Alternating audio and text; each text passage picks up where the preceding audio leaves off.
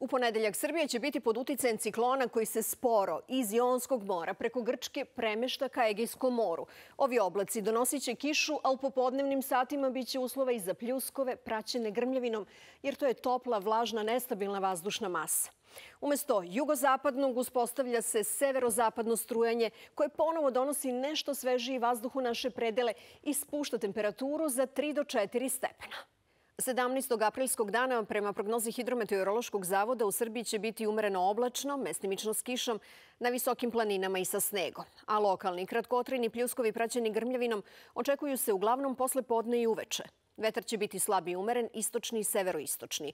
Ujutru temperatura od 4 do 11 stepeni, najviša dnevna od 13 do 18.